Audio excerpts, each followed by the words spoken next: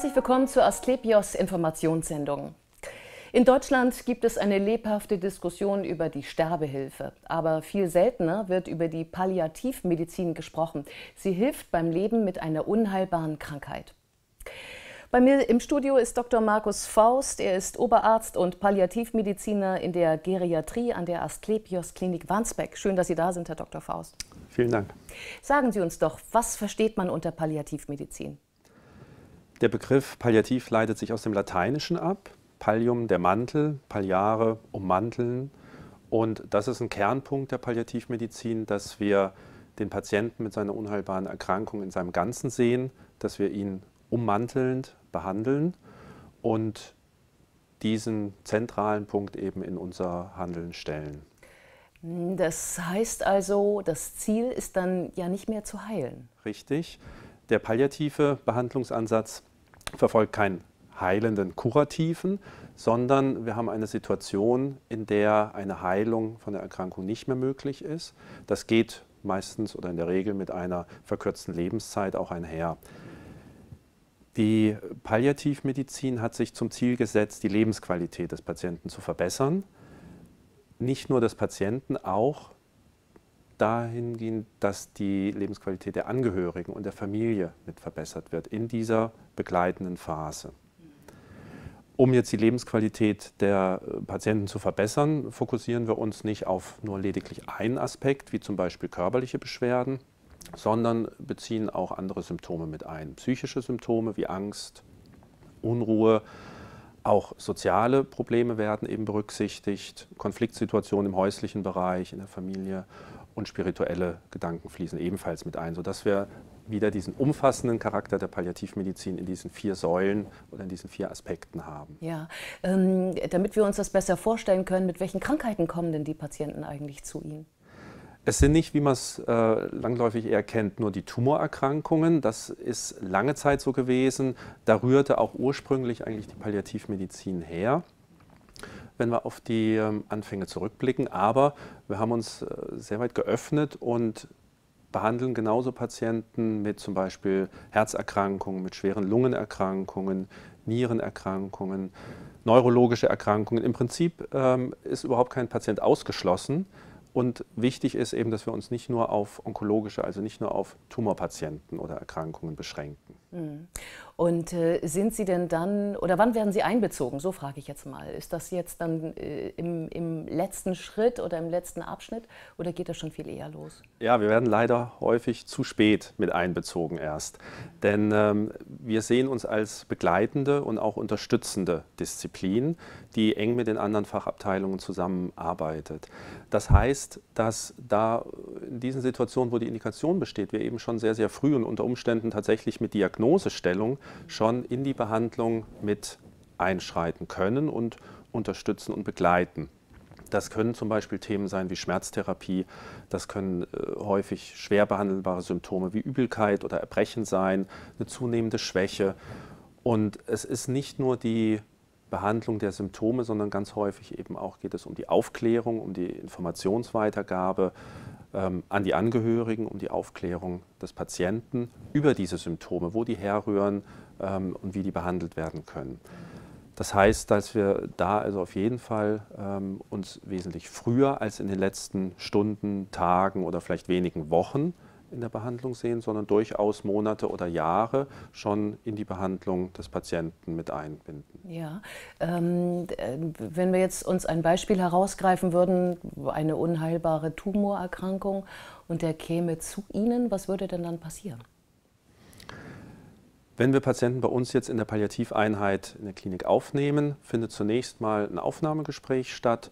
Das ist äh, in wesentlichen Zügen nicht anders als in anderen Abteilungen auch, aber äh, dort kommt eben doch nochmal ein entscheidender Aspekt mit zu. Das heißt, wir binden die Biografie des Patienten mit ein. Wir möchten, sofern er aus seinem privaten Bereich etwas erzählen möchte, über die familiäre Situation etwas wissen, über das häusliche Umfeld etwas wissen. Und legen wesentlich mehr den Schwerpunkt eben auf die Beschwerden, die den Patienten belasten, stets unter dem Aspekt, die Lebensqualität zu verbessern. Denn das ist unser Hauptaugenmerk, darum geht es uns vor allen Dingen auch in der Palliativmedizin. Nach diesem Aufnahmegespräch ähm, schließt sich häufig ein Gespräch mit verschiedenen Therapeuten an. Wir ähm, sind ein sehr großes Team, das ähm, auch in dem Bereich der Palliativstation tätig ist. Außer den Ärzten sind dort Pflegekräfte natürlich, die speziell geschult sind, die ebenfalls wie wir Mediziner im Bereich Palliativ Care weitergebildet sind. Wir haben Physiotherapeuten, medizinische Bademeister, Ergotherapeuten, Logopäden, die sich bei Schluckstörungen zum Beispiel mit einbringen können. Ganz wichtig sind die Psychologen, ja. sowohl Neuropsychologen als auch Psychoonkologen. Wir haben Mitarbeiter des Sozialdienstes und des Entlassmanagements, die sich um die weitere Versorgung dann kümmern, Seelsorgerinnen und auch ein wichtiger und wesentlicher Punkt sind die ehrenamtlichen Mitarbeiter, die im weiteren Verlauf des Aufenthaltes dann auch mit eingebunden werden. Und dieses ganze Team ähm, kümmert sich während des Aufenthalts um den Patienten. Als Mediziner sind wir sicherlich so ein bisschen der Koordinator, der da die Fäden in der Hand hält. Wir setzen uns einmal in der Woche zusammen, haben eine Teambesprechung. Jeder gibt seine Eindrücke mit und schildert seine Erfahrungen. Therapiefortschritte werden besprochen. Was das nächste Therapieziel ist in dem jeweiligen Bereich wird besprochen. Und ähm, letzten Endes planen wir dann gemeinsam mit dem Patienten oder mit den Angehörigen die weitere Behandlung und die Entlassung. Ja, um nochmal bei der Behandlung zu bleiben, äh, Schmerzmittel haben Sie schon angesprochen. Ähm, was könnten denn sonst noch Behandlungen sein? Also ja. Also vielleicht durch den Physiotherapeuten, äh, das kann ich mir auch noch vorstellen, aber ähm, wie weit geht denn da noch die medizinische Behandlung? Wir werden ja häufig damit konfrontiert, äh, dass ähm, das heißt, die Palliativmedizin spritzt ein bisschen Schmerzmittel, ein bisschen Morphin zum Beispiel und setzt sich dann als Pflegekraft oder als Palliativmediziner ans Bett und hält die Hand. Das ist ein Teil und auch sicherlich ein sehr, sehr wichtiger Teil, der sonst in der Medizin unter Umständen zu kurz kommt. Aber unsere Behandlung geht da eben weit darüber hinaus. Wir bieten das gesamte Spektrum der der, der Schmerztherapie an. Die Symptomkontrolle, wie schon gesagt, Übelkeit, Erbrechen, Luftnot ist ein ganz wesentlicher Teil.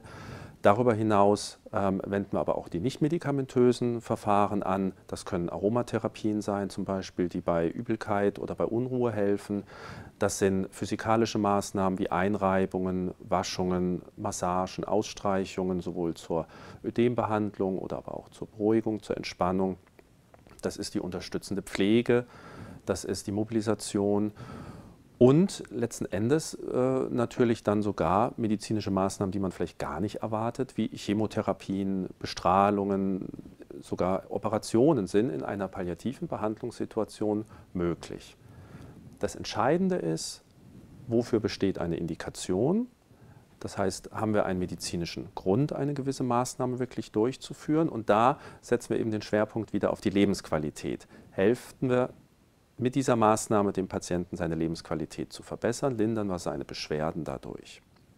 Also könnte so eine OP darin bestehen, dass man etwas, was auf einen Nerven drückt, beseitigt beispielsweise, damit es keine Schmerzen mehr verursacht? Zum Beispiel, genau. Wenn das jetzt ein Eingriff ist, wo man sagt, das ist für den Patienten ähm, zuträglich, das Operationsrisiko ist vertretbar oder gering, die Belastung ähm, ist ebenfalls vertretbar, dann kann man sich sowas vorstellen.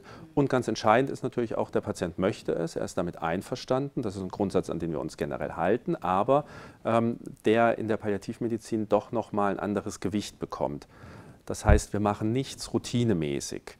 Äh, zum Beispiel die Blutabnahme jeden Mo Montagmorgen äh, wird bei uns nicht routinemäßig durchgeführt, sondern eine Blutabnahme findet dann statt, wenn wir tatsächlich ganz gezielt einen Ansatz haben, einen Hinweis haben, durch das Ergebnis dem Patienten in seiner Lebensqualität zu helfen und nicht um irgendeinen Laborparameter nur zu verbessern. Ähm, wie viel Einfluss hat denn der Patient ähm, auf sein persönliches Geschick? Also wie weit kann er denn selbst bestimmen, welche Behandlung er möchte und welche nicht? Er kann das zu 100 Prozent bestimmen, sage ich mal. Das ist sicherlich etwas übertrieben, dass äh, vielleicht durch äußere Einschränkungen da schon Limitierungen gibt. Aber was medizinisch ähm, machbar ist, was medizinisch vertretbar ist, ähm, das ist auch vom Patienten her natürlich dann zu äußern, zu wünschen. Häufiger ist es jedoch so, dass der Patient Dinge eher ablehnt oder nicht mehr möchte. Und ähm, die Medizin da in den letzten Jahrzehnten sicherlich zu weit gegangen ist und dem Patienten Dinge angeboten hat oder auch durchgeführt hat, Maßnahmen, die nicht unbedingt immer zur Verbesserung der Lebensqualität oder zum Wohl des, zum Wohl des Patienten würde ich gar nicht mal sagen, aber zur, zur Verbesserung der Lebensqualität waren. Ja, aber es könnte ja auch sein, ähm, dass ich als Patient etwas ablehne, was mein Leben verkürzt.